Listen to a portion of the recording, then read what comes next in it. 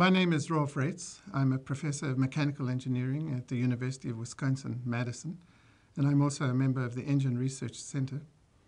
Uh, my research interests deal with internal combustion engines, both diesel and gasoline engines.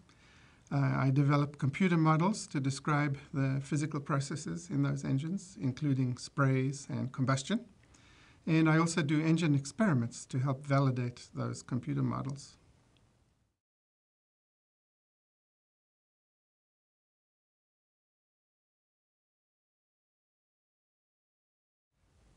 New computer codes for combustion simulation are dramatically faster than previous codes.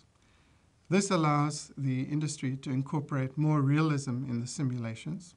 For example, uh, in the past, the detailed chemistry that's now available in combustion models used to be only available to researchers in chemistry.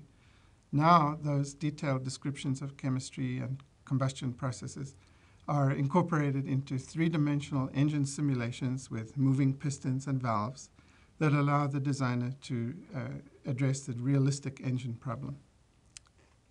Also, the simulations can be run with realistic fuels.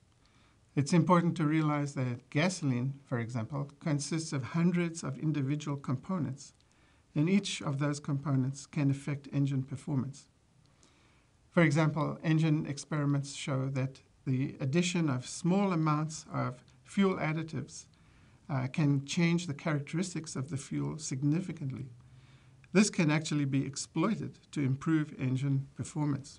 Being able to accurately represent the complexity of real fuels in combustion models will greatly increase the pace of innovation and allow the industry to improve fuel efficiency and reduce pollutant emissions.